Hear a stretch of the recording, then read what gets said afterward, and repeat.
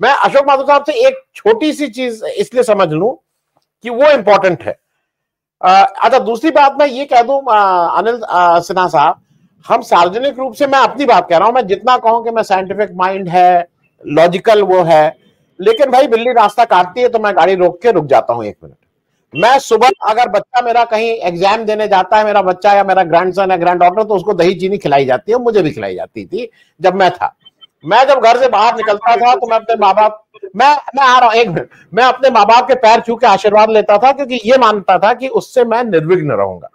अब इसको कोई अगर दक्यानूसी कहे या इसको वो ना कहे तो मैं भाई, मैं इसलिए कहा ईमानदारी से, और एक चीज़ और बताऊँ मैंने आज तक एक भी व्यक्ति नहीं देखा। हर घर में जब बच्चे की तबीयत खराब होती है मैं बात कर रहा हूँ दो साल के अंदर वाले तो नज़र उतारने का काम वो जो मिर्चा जिसको नहीं भी आता है वो नज़र उतारो नज़र उतारो फ़ोन करके नज़र उतारने का काम।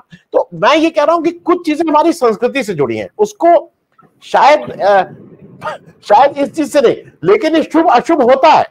एक पर्टिकुलर जात और मैं नाम ले लू ये जितने नेता लोग हैं पहला वोट धोबी से डलवाते हैं। उनका जो प्रपोजल होता है, उसमें एक धोबी ज़रूर होता है।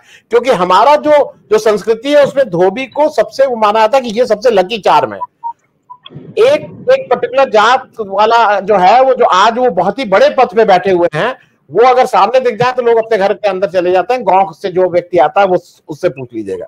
मैं, ये जितने नेता हैं और जितने खिलाड़ी हैं, जितने दखिया न्यूसी सचिन आप जो कह रहे थे, सचिन तेंदुलकर ने 2011 का 2013 का पूरा जो वो था वर्ल्ड कप था जो इंडिया जीता उसने वीरेंद्र सहवाग को देखने नहीं दिया।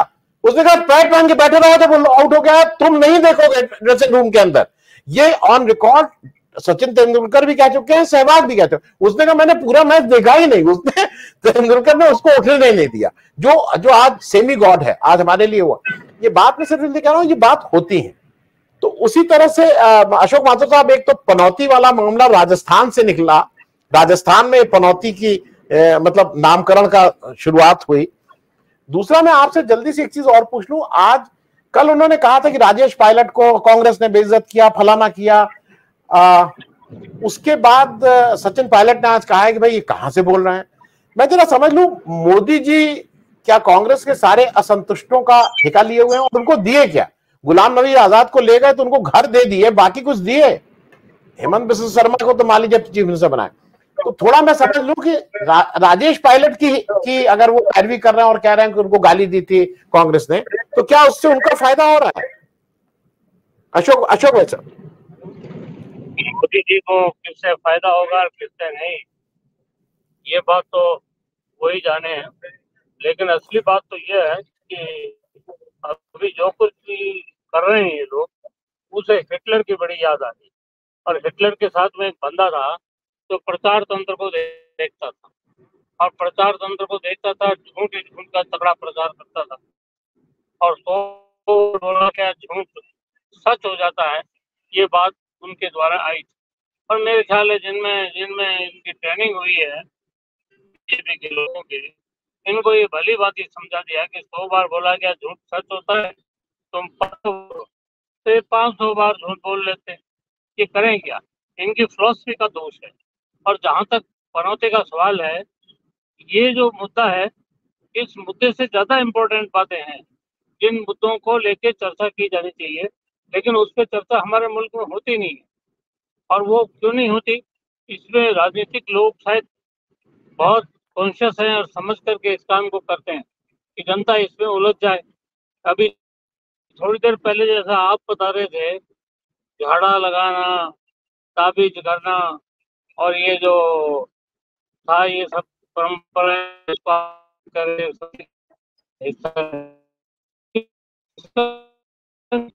जब हमारे पास कोई विकल्प नहीं रहता, उस वक्त में हमारे पास में एक ही विकल्प रहता है, ऊपर वाला। और ऊपर वाले को जब हम दिमाग में बैठाते हैं, आज साइंस और टेक्नोलॉजी ने और विज्ञान ने इन सब चीज़ों को बहुत पीछे छोड़ दिया। अभी कोई आदमी नज़र उतारने या झाड़ा लगाने के लिए बैठा रहेगा, या जैसे अभी क्रिकेट का मैच हुआ, उसमें लोग यज्ञ कर रहे थे, लोग हनुमान जी चालीसा कर रहे थे, और भी जो तंत्र मंत्र हैं, सब कर रहे थे।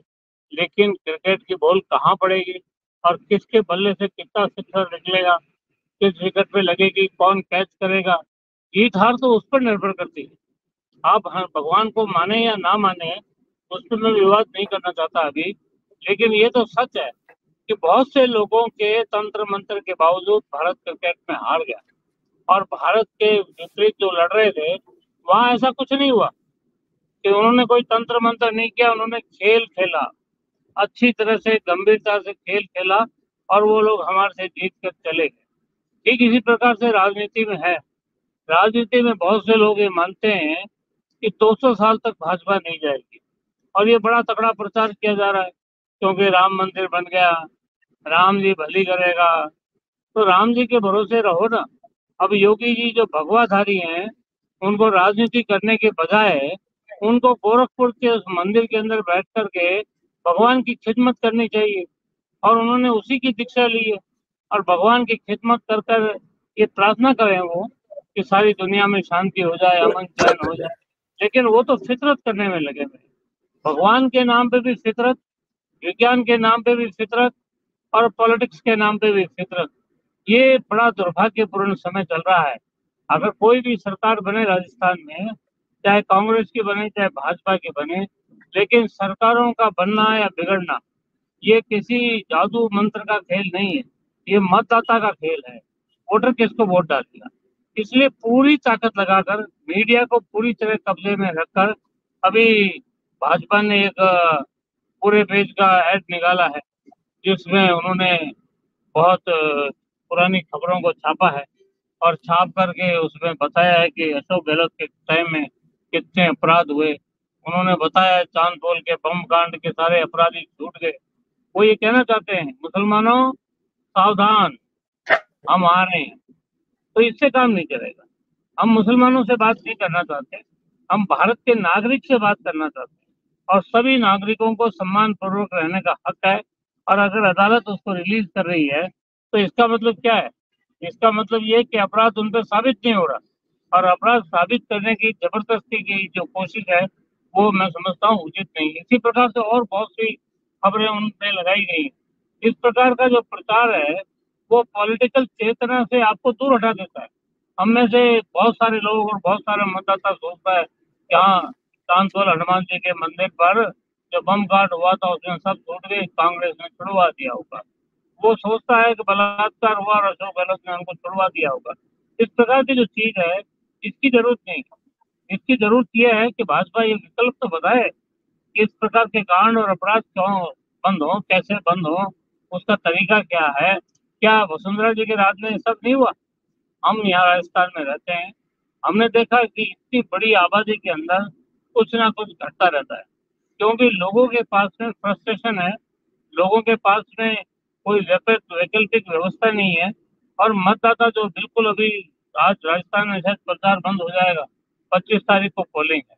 आज सारे लोग इसी में लगे हुए हैं कि किसके खिलाफ क्या बोला जाए। और बड़ा घटिया दर्जे की बातें कर रहे हैं। वो ये नहीं बता रहे कि राजस्थान में पानी कैसे आएगा। वो ये नहीं बता रहे कि इकोनॉमिक तंत्र कैसे मज़बूत होगा। अब विश्व गुरु बनने वाले भारत के अंदर राजस्थान की कुछ यूनिवर्सिटीज का मैंने पता लगाया। वहाँ सरेआम डिग्रियाँ बिक रही हैं जो प्राइवेट यूनिवर्सिटी बनी है और अच्छे पैसे लेके बिक रही हैं। और ऐसी हालात के अंदर हम अपने बच्चों को पढ़ाएँगे या खरीद के डिग्री देंगे? अगर खरीद के डिग्री दे रहे हैं आप तो वो साइंटिस्ट तो नहीं बनेगा तो वो अच्छा डॉक्टर तो नहीं बनेगा। वो अच्छा वकील नहीं बनेगा, वो कुछ भी नहीं बनेगा, वो उल्टा अपने आप को भी धोखा देगा और पूरे भारतीय समाज को धोखा देगा।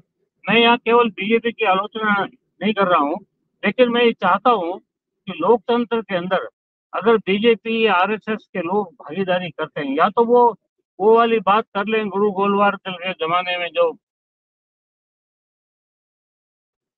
डिक्लेयर कर दें ना, अपने आप को क्या दिक्कत है। इस देश में हैं लोग ऐसे मानने वाले।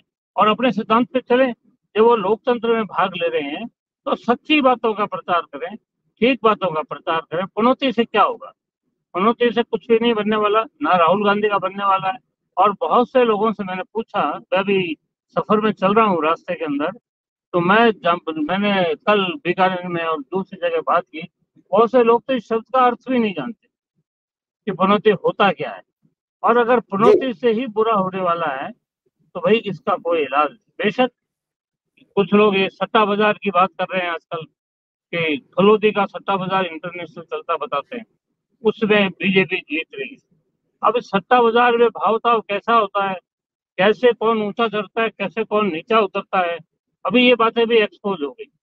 अब इन बातों के एक्सपोज होने के बाद कुछ लोगों को अपने चुनाव का पूरा खर्चा मिल जाता है। कुछ लोग वैसे ठगी लगा लेते हैं। लेकिन लोकतंत्र का तो कुल मिला के इसमें नाश यही होता है। लोकतंत्र में बहस होनी चाहिए चाहे आप इस मुद्दों पे सहमत हो चाहे इस मुद्दों पे सहमत नहीं हो। और ये कांग्रेस को भी करनी चाहिए और भाजपा को भी करनी चाहिए। ये दो प्रमुख पार्टियाँ लड़ रही हैं। वामपंथी तो अभी बिल्कुल नेपथ्य में चले गए शांत हैं। वो कुछ टिप्पा टिप्पणी करते नहीं है। धन्यवाद। जी।